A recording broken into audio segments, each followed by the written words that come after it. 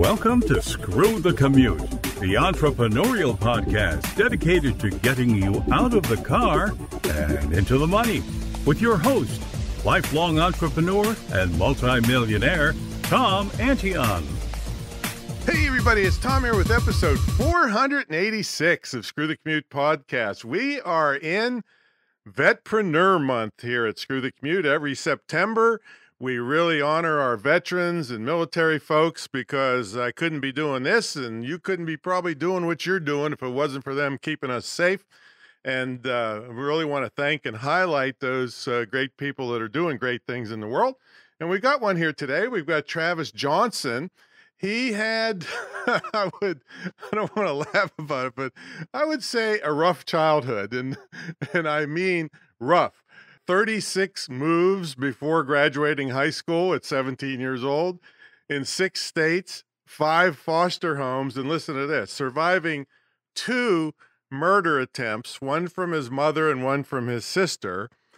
And the only way I can make any sense of that is that that lady, when she tells you to clean your room, you better clean your room. I'm telling you, I don't know. He's going to tell us what happened there. Jesus what a thing. And he turned out to be so wonderful and helping so many great people that are doing great things to help people. It's crazy. So I don't know how he got the uh, intestinal fortitude for that, but we're sure going to hear about it. All right. If you'd like to get big affiliate commissions from me, just email me at tom at screwthecommute.com and we can get you into our affiliate program. And you can make anywhere from $8.50 that you can blow at Starbucks to in excess of 5000 for a one speaking engagement. So, and everything in between. So you can make a real good money from uh, referring our stuff and we never get refunds because we take care of our customers. So, so uh, give me an email at tom at screwthecommute.com. Pick up a copy of our automation ebook. This ebook has allowed me or the techniques in the ebook have, has allowed me to handle up to 150,000 subscribers and 65,000 customers without pulling my hair out. And just one of the tips we actually estimated a couple years ago has saved me seven and a half million keystrokes. Definitely saved me carpal tunnel syndrome. So grab a copy of that at screwthecommute.com slash automate free. Screwthecommute.com slash automate free and also pick up a copy of our podcast app at screwthecommute.com slash app. That's A-P-P. And you can put it on your cell phone and tablet, take us with you on the road. We got, you know, a lot of people give you an app and then you got to try to figure it out. Well, we have complete videos and screen capture to show you how to use it. Now, I usually tell you about my school now, but I've got something way, way bigger going on. We're doing a pilot program to help persons with disabilities not only get trained in a highly in demand skill, which is internet and digital marketing, from home so they don't have to travel, to getting them hired and or start their own business or both. So I really want your help with this. You know, I've raised a lot of money for dogs and homeless children and all kinds of things. And I, as I look back, I'm really proud of those things, but I kind of look yeah, it's kind of like a band aid that, you know, what happens to those 500 kids uh, after a year that I fed them and uh, what happens then, you know? So, so in this case, I want to change somebody's life forever before I kick the bucket on this earth. And, uh, and the, the idea is we're going to help five people get hired or start their own business. And we're also going to use some of the money to uh, hire persons with disabilities to run the program. And then I'm going to roll it out really big. I'm going, I took a grant writing course. I'm going to go try to find big money to help lots of people. And then that's going to be one of my legacy projects uh, for the world. So if you can help out, that'd be great. Uh, check it out. Uh, everything will be in the show notes at imtcva.org slash disabilities. That's plural. Click on the GoFundMe campaign. Anything you kick in is great. And if you're really flush with cash, you can sponsor a person yourself. So just get in touch with me about that. So that's the story, and I'm sticking to it. All right, let's get to the main event. Travis Johnson is here. He's a Navy guy, and uh, he's going to probably look funny at me when he finds out I turned down an appointment to the Naval Academy. Oh, yeah, I did. I couldn't. Uh, I saw those guys jogging to class. I thought, uh, I can't do it. so, but anyway, He's uh, got the Nonprofit Architect podcast. Travis shares his perspectives as the former vice president of Books by Vets, and he's a board member at the Shine Foundation and a benefactor of 20,000 bucks, I guess, of his own money. He's a volunteer with 1,500 plus hours of volunteering. He's really paying it back and paying it forward, and he's helped raise more than a half a million dollars. So, Travis, are you ready to screw? The commute. Absolutely, Tom. Thanks for having me on the show today. Oh, it's my pleasure, man. Boy, uh, uh, had a little bit rough in the beginning there, huh? You know, I, I kind of feel bad for all the disadvantaged people out there that had smooth sailing childhoods. They didn't know how to build any perseverance, fortitude, or dedication growing up without all the problems that I had. So, really sorry out there if you had a great childhood. You're you're starting a leg behind, and I I really do apologize for that. you know how true that is because so many people you you just say boo to them and they like collapse like there's somebody just stabbed them in the eye.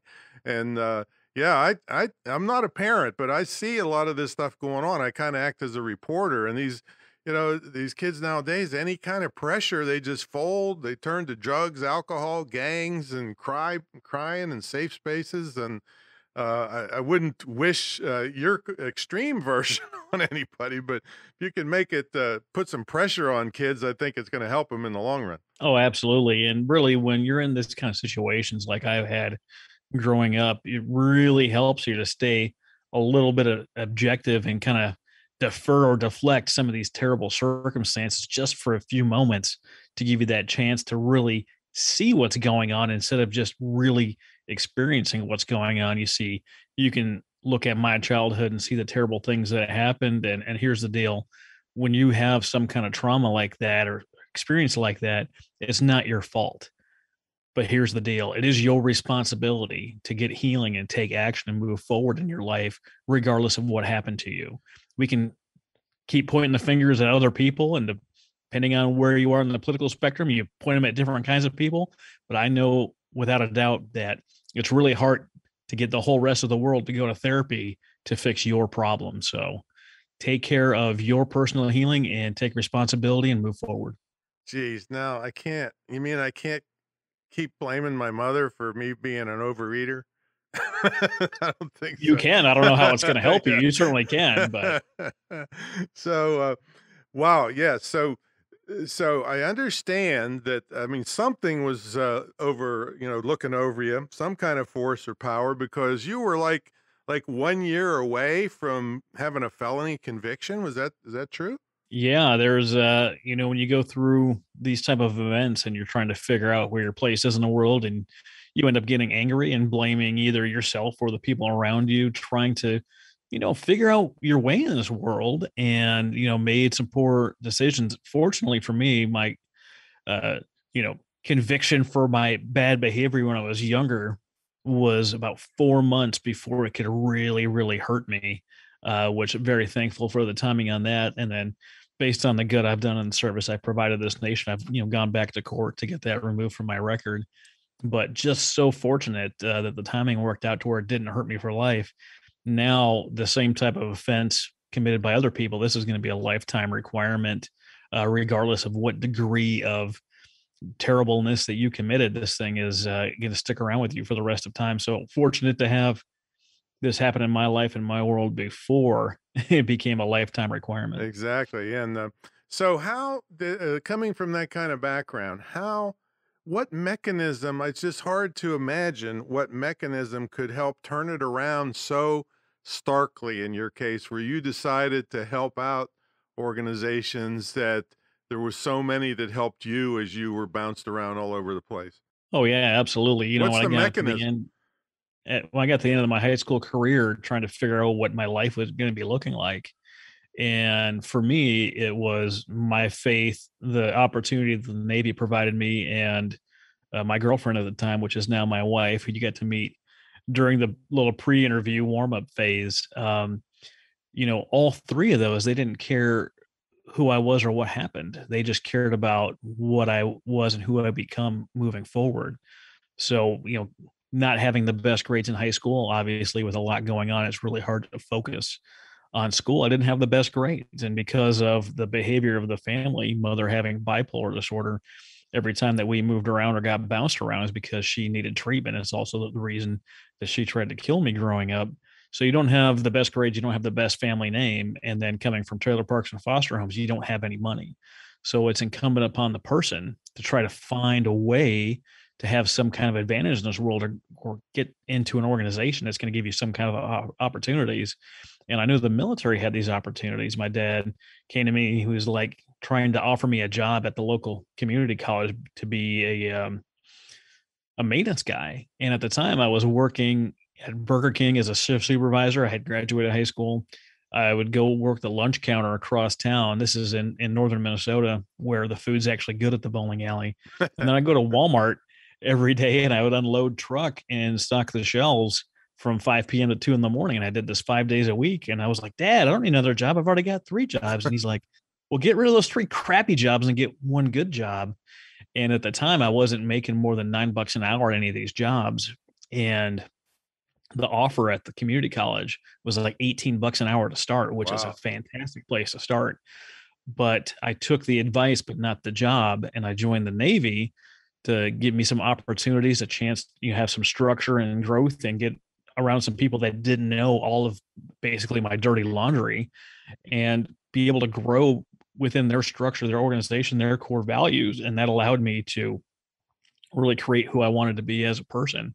And with the support of my wife, you know, fortunately for me, every time something for my career came up, she would say, I was like, what should we do? And she'd always answer, whatever's best for your career, that's what we're going to do. Wow. And, you know, her love and support and, and guidance for all of that, along with our, our strong faith, really helped propel me into the person that I've become. Amazing. Do you still have any um, relationship with your mother? I do. You know, the fun the funny thing is that when someone has a mental illness and they actually are working on themselves, taking their medication as they should, doing the things they need to be mentally well most days, it's kind of easy to have a, a relationship with those kind of people. It's the other side, like my sister, who is not taking responsibility for her mental health and taking the steps she needs to be a, a decent human being. Well, I don't have a relationship with her. Well, then in that case, we're not having her on the podcast. That's... I appreciate that. okay, so so now with all that uh, that background, somehow you channeled this into working to help nonprofits raise money and you know lots about the operations of nonprofits and uh, this isn't really a nonprofit show but but tell us a little bit about if somebody did want to have a nonprofit what's the ins and outs of it i know when i took the grant writing course and i found out that uh, 90% of the money out there is going to go to nonprofits. But then when I started looking into nonprofits, I think I've heard you talk about this before. I thought, you know what? Uh, that's too much hassle for me. You know, maybe I could team up with some other nonprofit, but uh, for me to run one, I, I, said no. So, what are some of the pros and cons of that? And then a little later, we're going to talk about how you promote all this stuff with uh, your podcast. Sure, absolutely, Tom. The, the thing about startups and where people are coming from is they're really coming from a place of wanting to help and create impact. And when I got started in the nonprofit world, I finally got kind of past that scarcity mode, that survival mode, and, and was able to start making an impact in my community. And I didn't know what to do. It was like I, I knew that I could show up and have a good attitude and want to help, but I didn't really know what it meant to be part of a community because I had bounced all over the dang place. So I started asking people in church, I'm like, what do people in the community do? How do you become part of the community? Like I didn't know, I didn't understand, uh, because I I had only been able to focus on where's my next meal coming from, where's my right. paycheck coming from, what do I need to do to take care of my family. It was the very very very basics for so many years, until I got to the place like you know what I'm not I'm not fighting for these things anymore. I have these things. So what is what does it look like next? And got introduced to some fantastic people and got invited to be on the board of Books by Vets and the Shine Foundation and and raise a bunch of money and got stationed in the kingdom of, bah- of Bahrain of all places and wanted to do something productive. I just enjoyed uh, all of the time I got to spend with the nonprofits in person. You know, looking back at my history, all of the people that helped keep me sheltered, clothed, and fed all of these years. You know, how can I provide a give back and a way to really show my appreciation. I started by volunteering and giving some money and different things. And when I got stationed in Bahrain, I was like, how am I supposed to keep doing all this cool nonprofit work while being deployed? So I actually started my podcast, the Nonprofit Architect Podcast, while deployed to the Middle East and knew that I knew some stuff, but not a lot of stuff. And I looked at the top shows out there in the nonprofit world and kind of looking for a gap. That's what we do in the, the entrepreneurial world, right? We look for gaps and ways to make this impact. And no one seemed to be doing a nonprofit show that really taught the how to, the behind the scenes. And that's how we kind of came up with the idea for the Nonprofit Architect podcast. And I know listeners to your show have been going through the entrepreneurial journey and learning how to do that and just how tough it is. Well, in the nonprofit world is just as tough. But also, I thought the money just the, rains in. oh yeah, yeah. You, you, start it up and you just hit yeah. a button and the money just starts pouring yeah, down. Yeah, I thought it was, uh, you know, yeah, super easy, easy right? Yeah. But not not at all. And I know we're I know we're joking here, you've got all the difficulty of being an entrepreneur, but you've got all these extra requirements levied to you by the state and the IRS. So you start your own business, you own your business. You start your own nonprofit. After the first day, you are listed as the founder, but you don't own this thing. You will actually have a board that you report to, a board of directors, and they're responsible to the community for the execution of the mission. So just right off the bat, right after starting these things, there's some pretty stark differences between the business, the for-profit business world, and the nonprofit. Yeah, when I world. found that out, I said, "Wait a minute! You mean they could kick me out?" I guess yes, they could, huh? There, there is a lot of people out there that have been removed as a founder of an organization that's not their baby, and they decided the board is like, you know what, we're going to go in a different direction, and unless you're on board, it's not going to include you. Oh man! And that is so heartbreaking for a lot of people. And there's a lot of founders that try to put language into the bylaws to prevent that from happening. I'm actually kind of a fan of that behavior, the the ability to be fired, because if you're no longer in alignment with the mission, then what are you doing? I get that, but uh, you know, you put a lot of sweat and blood in in there, and maybe maybe the mission has should change, but I guess that doesn't count with the IRS. You well, you can. You can again, file paperwork to update your mission statement, mm-hmm. and that's fine. But you need to agree upon it between the the founder and the the board of directors, right? Yeah, I think I'm too much of a control freak for that situation. so so many of us are. There's a reason, you know, that I don't currently have my own nonprofit right. organization, right? But when you're looking at this, what I find a lot is that people just really want to help and they currently believe that the best way to help is to start your own nonprofit. And that might be true. But what we would like to do is we like to make sure we're starting off on the right foot. So just like starting a business, you do your research, you figure out what's out there and what can be provided. I did an interview with Candice Leozu from Foster 360, and she was in the business world, really wanted to help out kids aging out of the foster care system, which of course I am a huge fan of helping those people.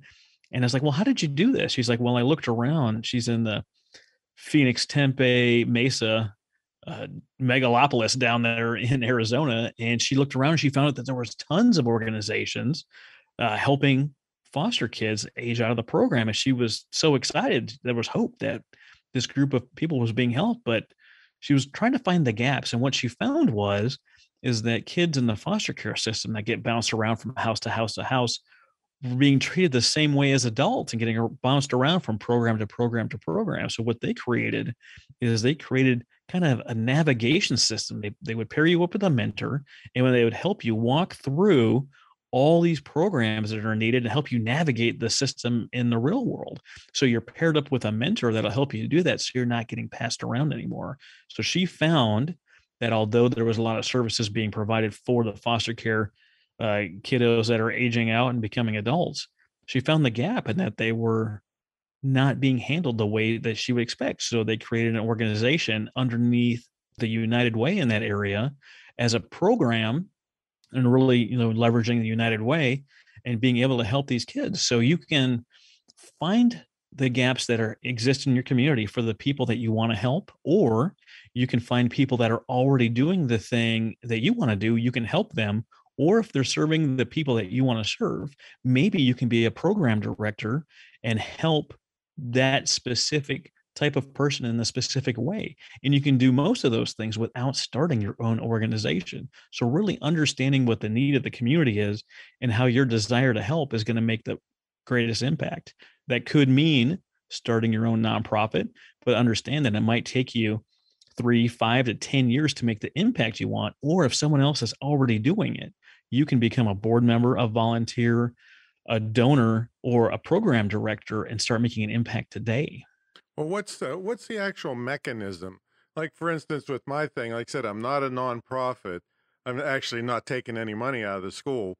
I'm still using um, GoFundMe and you know crowdfunding to fund the program so far. But when I want to roll it out really big, uh, what's the mechanism? Like you say, "Hey, United Way, look, I got this great program. I proved that it works uh, give me some money or how, how, does it work? Well there's there's a way to create that partnership or that program under an organization like united way and this is a conversation you would have to have with them and their board and what their vision is based on what they're working on to see if that's a good fit. If you're going to do this on your own the super basics of this thing is you incorporate you get your tax ein and you create a board of directors you get usually three non-related individuals and then you file something called a 1023 EZ form with the IRS with COVID right now.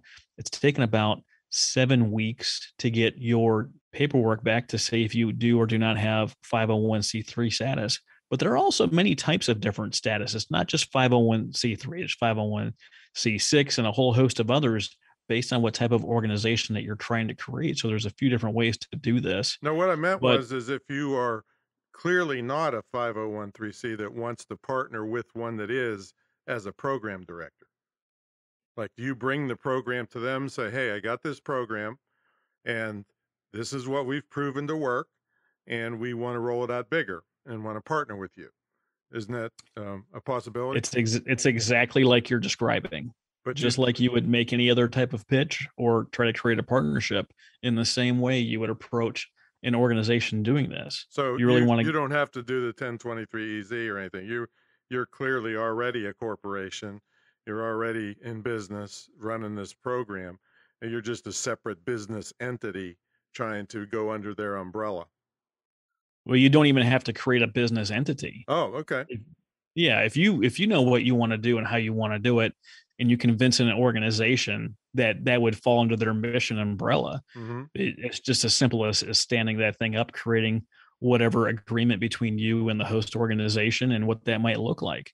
For some people that works great. For other people they find out that they don't have as much control as they would like or they're not able to do it exactly the way they want to or they don't you know not seeing eye to eye with the founder or the board so they might decide to go off on their own.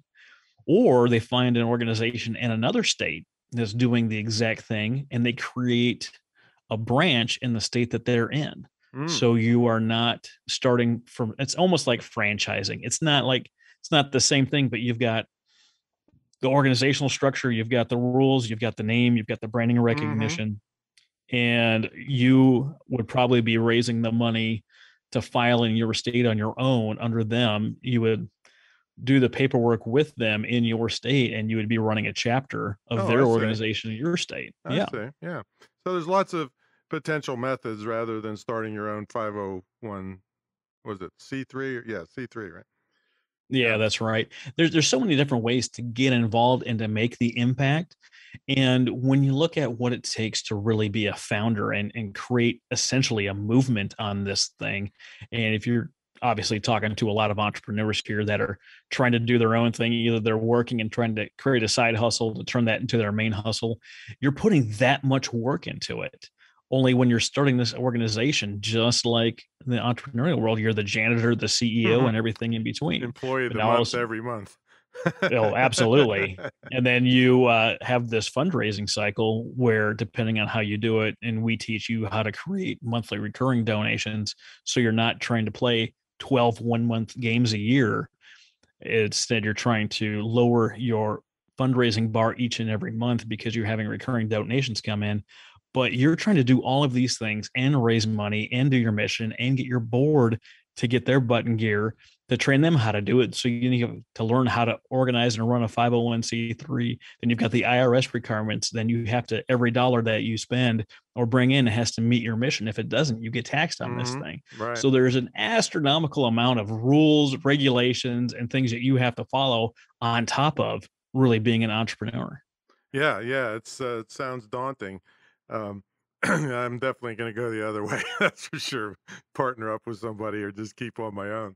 But but you've been very successful in helping folks raise more money and and tell us how podcasting has worked into this. I heard somebody on there recently. I can't remember her name, but like the queen of fundraising or something. But she was quite dynamic about all the ways she uh, raises funds. Podcasting, as you know, and hopefully some of our guests understand, is such an amazing tool.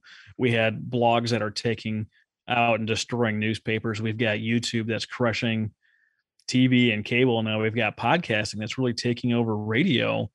And as a, essentially a free tool to get your message out there, if you do something like I'm doing when you do an interview show like Tom's doing, I don't have to do a lot of the work on my show. I bring on the guest, I ask questions that I put all the onus, all the work on the guest to come up with the answers, like Tom's doing to me right now. Mm-hmm. But every every single person you interview, you you gain knowledge. It's like hosting your own private masterclass with them for free. You get to learn all the things that you want to learn based on who you bring on as a guest. Like I've had Steve Sims on the show and Bob Berg and Asha Curran, who's big in the nonprofit world. She runs hashtag Giving Tuesday, and they brought in 2.47 billion dollars on a single day last year which is just astronomical. But every person i interview my credibility goes up my knowledge goes up my reach goes up my audience goes up and i'm able to leverage and build these relationships with people.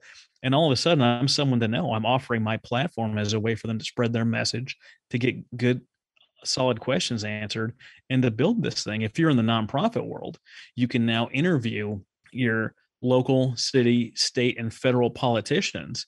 Bring them on your show, ask them about the type of things you're doing and what they're doing behind the scenes of the legislation to support what you're doing. And on the flip side of it, now when this comes up in their session, they bring in you as the expert to leverage your knowledge and expertise about what this is. When you put your podcast on your website and you end up using it to create content, you don't have to figure out what the heck you're going to post each and every day you pull audiograms, little audio snippets out of the episode. And if you ask at least five questions, you now have five questions and answers to use as content on your website, on your social media, and everywhere else. The beautiful thing about posting your podcast on your website is it lets you know that Google is like, hey, I see this guy's updating their podcast each and every week with new material, sometimes twice a week, sometimes more with a podcast, blog, or vlog. Your rankings are going to go up right now if you put down your phones and you Google nonprofit architect podcast, you're going to see that all of my stuff is the first four and a half pages of Google. Yeah, I, I did, and uh, and I I got the same kind of stories. Well, you're on here, and Vetra, Vetpreneur Month exists because I interviewed one guy, and it, it, got me invited to the White House. I spoke at the Military Influencers Conference, Uh, you know, and then you know you see I'm on episode 486 with you, uh, I've covered a lot of people that have made a lot of breaks, and I learned a lot. I had a lot of people referring my products and services for commission, you know, so just all kinds of great things come from it. it it's it's such a beautiful tool. And the nonprofit world, instead of you having to go to organization after organization after organization to spread your message, with each person that you interview and they share the episode and they help promote it on their behalf as well as your behalf, and all of a sudden you have donors, or if you're in the entrepreneurial world, you have buyers or clients coming to you instead of you going to them. Can you imagine not being able to take any new meetings with donors this week because of all the d- meetings that they have set with you? Yeah, I want to give you money. Well, sorry, there's too many people in front of you. Just hold off. Yeah, can, but can you imagine saying no to those things because you have so many people coming to you want to help you with your mission? It is just a fantastic way to really and I hate to say flip the script, but it really changes the flow of information and the flow of people into your sphere of influence. All right. So you have some training on this, right? Oh, absolutely. You know, we started doing the nonprofit gig and, and helping out nonprofits. And uh, from starting this thing, it hasn't even been two years, Tom. I'm not sure what day in, in September this is coming out, but September 23rd this year will be two years of operation of the podcast. And within three months of starting, we shot up to number four in the US. And now we're top five in five countries right now, including the US and Canada. And I started getting more questions about podcasting specifically than anything else. And it led me to writing an ultimate podcast guide, which is a, a couple of bucks online. But there's, if you're interested in this all, there's a freebie you can grab at nonprofitarchitect.org slash resources.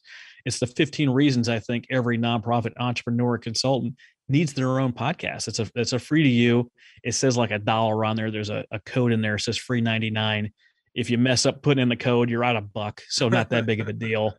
But uh, you know, pick that up. It's actually turned into one of the biggest revenue generating streams of the business that I run here. And the demand was so high for this thing that they people immediately started asking, like, hey, where's the course?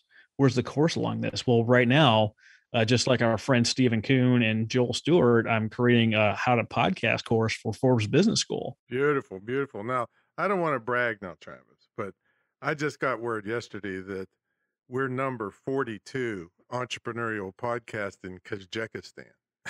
the, the, the, only bad part about it was last last week we were number 40 so we dropped two two slots in Kazakhstan, where the heck that is.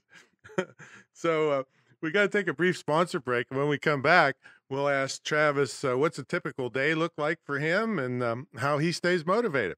So, folks, uh, about 23 years ago, I kind of turned the internet marketing guru world on its head, and that guys like me were charging 50 or 100 grand up front to help you. And I knew a lot of these guys are ripoffs. So that if you give them 50 grand up front, they'd be hiding out in Kazakhstan or wherever it is.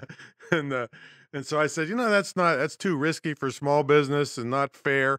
So what I did is I charged an entry fee and then I charged a percentage of their profits that's capped at 50,000. So for me to make my 50,000, they had to net 200,000. well, people kind of loved this and 23 years later and 1,700 students, it's still going strong. We have a very unique program. It's the longest running, most successful, and most unique ever in the field of internet and digital marketing mentor program. You know, we have a, a retreat center. It's a big mansion. You you actually live in the house for an immersion weekend.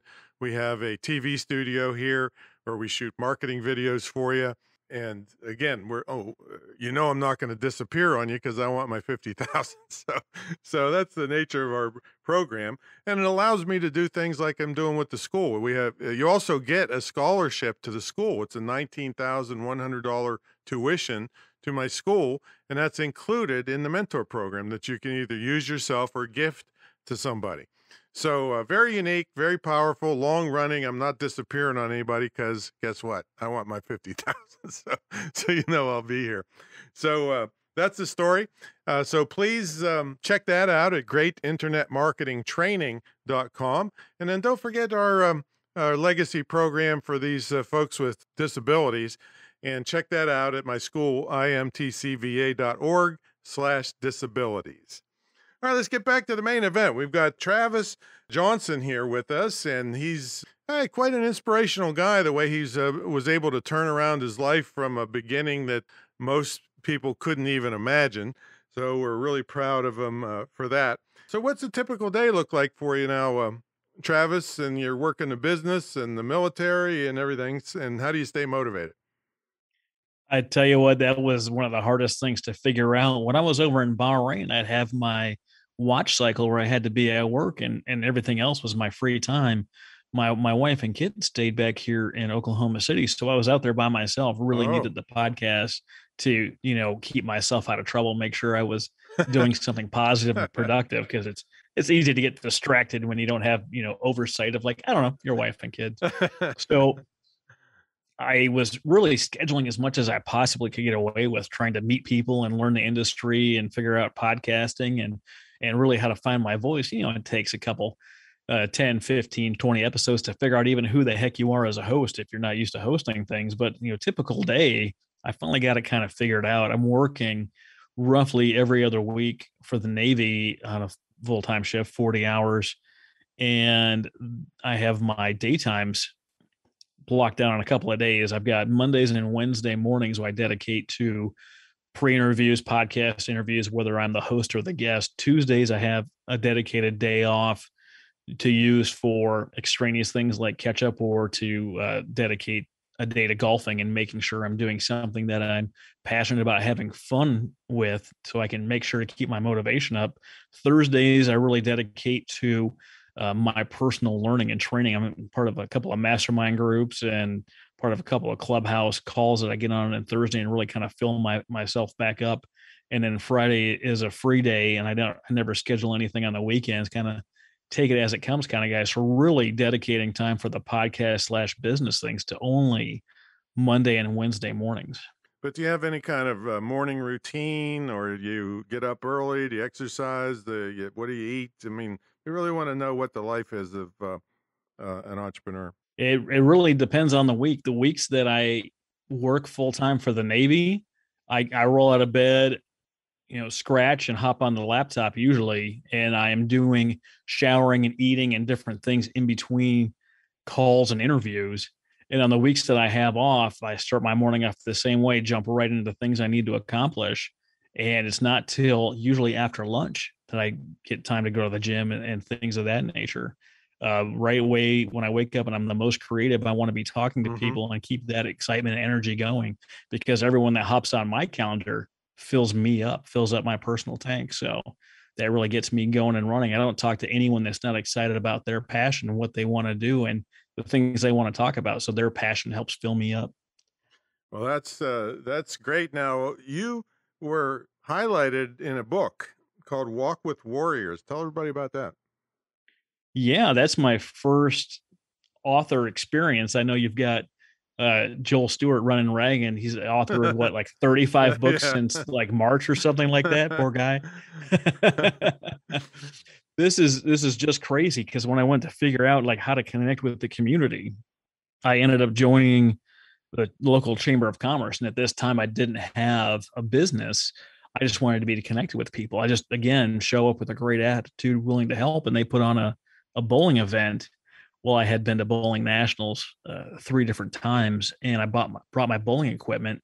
And I was like, you know what? I'll bring my stuff, and if if someone needs a fourth or whatever, I'll just hop in with these guys. And and sure enough, I showed up, and my friend Jamie Crow was like, hey, actually, these people over at such and such bank, they need a fourth. If you want definitely plug you in, make the introductions, and hang out with them. Well, I did, and I got to meet people at a local bank and and talk about some different things, and you know, hung out afterwards, even though I didn't know what the heck I was doing. And Jamie at the end, she was like, "Hey, you're in the military, right?" I said, "Yeah, absolutely." She's like, "I've got a friend, Shannon Whittington. She's putting together." an anthology. She's getting veteran authors to write their story. Do you want me to connect you? I said, absolutely. And I sent Shannon a message. I was like, hey, are you still looking for authors? She's like, we are and I need 3,000 words, and you have till Friday. and me, I love rising to the challenge. You want to you want to get me fired up, tell me I can't do something or that it's nearly impossible and just watch me go.